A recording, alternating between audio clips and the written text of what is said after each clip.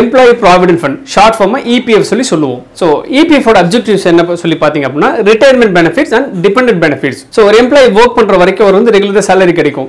ஐம்பத்தெட்டு வயசில் இல்லை வந்து அறுபது வயசில் ரிட்டையர் ஆனதுக்கப்புறம் வந்து ஒரு ரெகுலரான சோர்ஸ் ஆஃப் இன்கம் இருக்காது இல்லையா?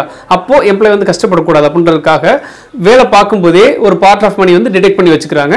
ஸோ ரிட்டையர்மெண்ட் ஆனதுக்கப்புறம் அந்த அமௌண்ட் வந்து கொடுக்குறாங்க. இதுதான் வந்து இபிஎஃபோட கான்செப்ட் ஸோ இன்கேஸ் ஒரு எம்ப்ளாய் வந்து இறந்துட்டார் அப்படின்னா அவங்களுக்கு டிபெண்டன்ட் அவங்க ஒய்ஃபுக்கோ இல்லை வந்து அவங்க குழந்தைங்களுக்கோ படிப்புக்கோ இல்லை வந்து சர்வைவலுக்கோ டிஃபிகல்ட் ஆகக்கூடாது இல்லையா? ஸோ எம்ப்ளாயி இறந்தாலுமே ஒரு பார்ட் ஆஃப் மணி கொடுக்கணும் அப்படின்ற பேசிஸில் பணத்தை கொஞ்சம் கொஞ்சமாக எடுத்து வச்சுட்டு ரிட்டைர்மெண்ட்டோ இல்லை வந்து ஒரு எம்ப்ளாயி கொடுக்குறது பேசிஸ் தான் இபிஎஃபோட பேசிக் ஸோ இதோட பர்சன்டேஜ் என்ன பார்த்திங்க அப்படின்னா கான்ட்ரிபியூஷன் பர்சன்டேஜ் அப்படின்னு சொல்லி பார்த்திங்க அப்படின்னா எம்ப்ளாயி சைட்லேருந்து டுவெல் பர்சன்டேஜ் கொடுப்போம்.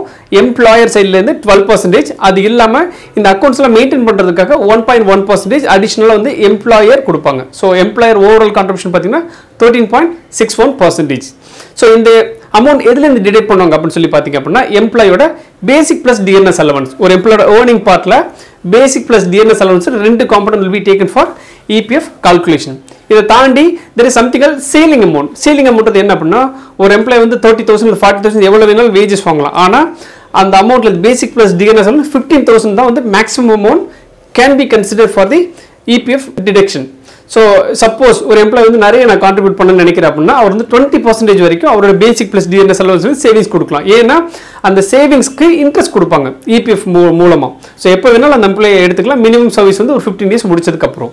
So EPF main for retirement benefits இந்த வீடியோ கண்டிப்பாக உங்களுக்கு ரொம்ப யூஸ்ஃபுல்லாக இருக்கும் நான் நம்புகிறேன் இந்த வீடியோஸ் பற்றி நீங்கள் என்ன நினைக்கிறீங்கன்றதை கமெண்ட்ஸில் சொல்லுங்கள் நம்ம சேனல் இப்போ தான் ஃபஸ்ட் டைம் நீங்கள் பார்க்குற மறக்காமல் சப்ஸ்கிரைப் பண்ணுங்கள் பெல் ஐக்கான் கிளிக் பண்ணுங்கள் உங்களோட சப்ஸ்கிரிப்ஷன் உங்களோட கமெண்ட்ஸ் எங்களுக்கு ரொம்ப பெரிய மோட்டிவேஷனாக இருக்கும்.